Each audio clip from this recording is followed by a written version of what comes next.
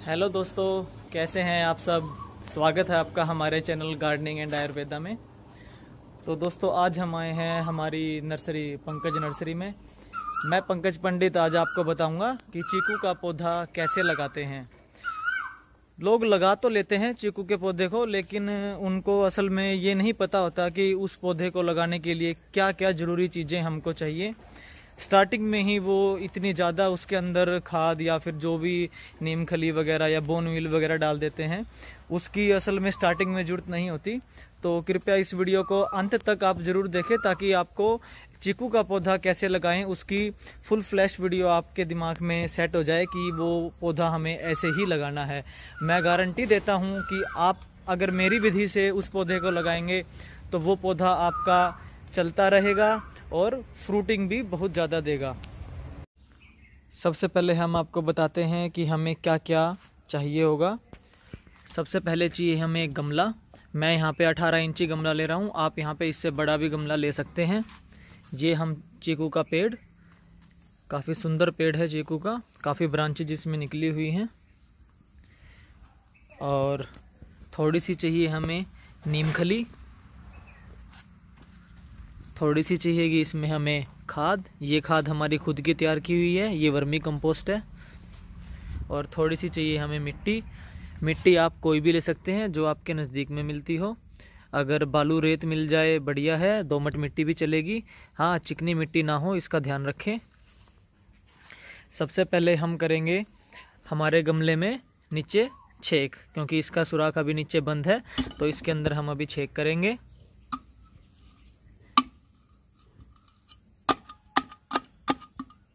ये हो चुका है इसके अंदर सुराख। तो सुराख इतना कम से कम होना चाहिए। अब इस सुराख को हम ढकेंगे किसी पत्थर के साथ।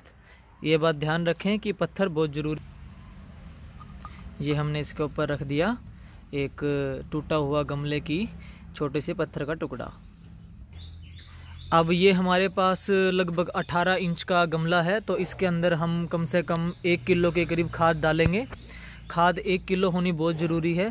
तो यहाँ से खाद लेके और इसके अंदर हम यहाँ पे मिक्सर करेंगे पहले इसको अच्छे से।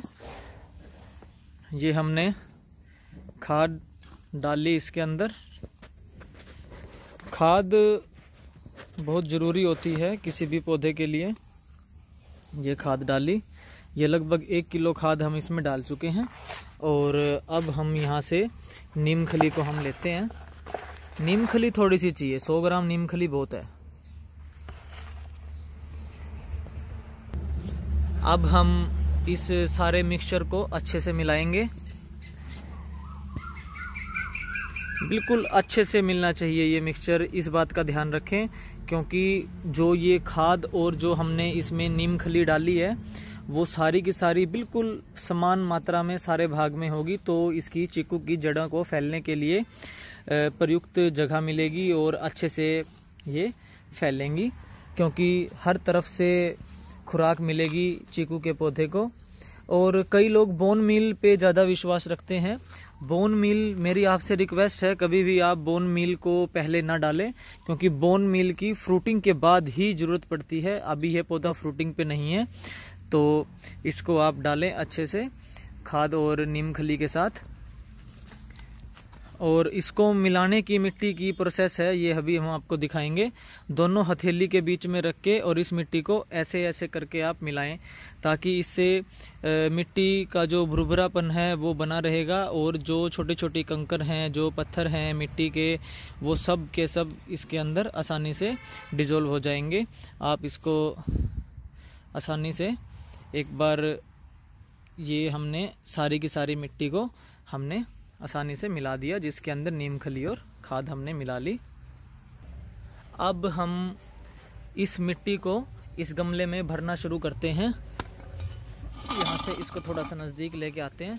अब इसको इसके अंदर भरना शुरू करते हैं। इसको भरते रहिए और थोड़ी सी नीम खली लीजिए और हल्की हल्की यहाँ पे ऐसे डालते रहिए। ज़्यादा नीम खली यूज़ नहीं करनी, बिल्कुल थोड़ी थोड़ी ही हमें डालनी है, क्योंकि खाद हम बहुत ज़्यादा मिला चुके हैं।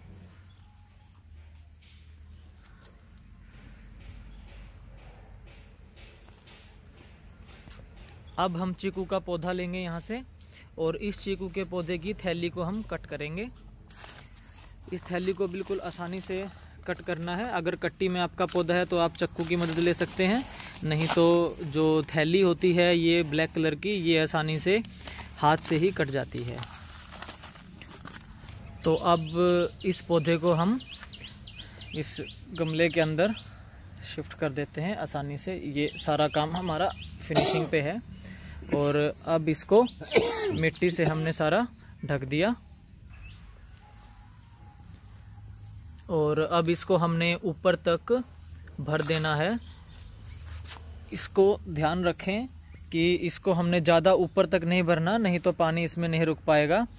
लगभग एक इंच के करीब आपको इस गमले से मिट्टी का जो जगह है वो खाली रखनी है। और अब हमारा गमला अच्छे से लग चुका है। अब हमें क्या करना है? एक मुट्ठी खाद और लेनी है। इस एक मुट्ठी खाद को हमने इसके बिल्कुल ऊपर ऊपर हमने ऐसे डाल देना है। ऐसे डालने के बाद इसको बस ऐसे मिला के और छोड़ दीजिए। अब समय है इसके अंदर पानी देने का। अब हम पानी दे के और आपको दिखा देते हैं। बस अब इसमें ऐसे पानी देना है। तो दोस्तों, पानी देने के बाद मैं आपको दिखाता हूँ। ये हमारे पास एक चीकू का बड़ा पेड़ है। तो इसके अंदर हमने आज तक कोई भी फर्टिलाइज़र का यूज़ नहीं किया है। ये हमारे यहाँ ज़मीन में लगा हुआ है। और बोन मील का प्रयोग भी आपको नहीं करना है गमले में तो खासकर, लेकिन उसको आप बाद में कर सकते हैं दो से तीन साल के बाद जब आपका पौधा अच्छे से जड़ें फैला दे आपके गमले में। तो एक बात और इसका विशेष ध्यान रखें चीकू का पौधा ही एक ऐसा है पौधा, जब भी हमें इसका फ्रूट तोड़ना है तो कभी भी कटर या कैंची कभी भी किसी लोहे से बनी चीज़ का इस्तेमाल ना करें। क्योंकि वो इस्तेमाल करने से पौधा अगले साल कम फ्रूटिंग पे हो जाता है। तो आप इस बात का विशेष ध्यान रखें। और गमले में पौधा कैसे लगता है, इसकी विधि हमने आपको पूरी बताई है। अगर आपको वीडियो अच्छी लगे तो इसे शेयर ज़रूर करना और हमारे चैनल गार्डनिंग एंड आयुर्वेदा को भी सब्सक्राइब ज़रूर कर दें। Thank you.